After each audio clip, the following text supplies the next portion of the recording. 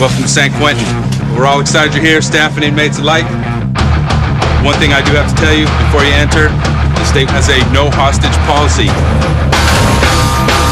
In the unlikely event that you are taken hostage, the state will not negotiate your release in exchange for the release of an inmate. Agree with that?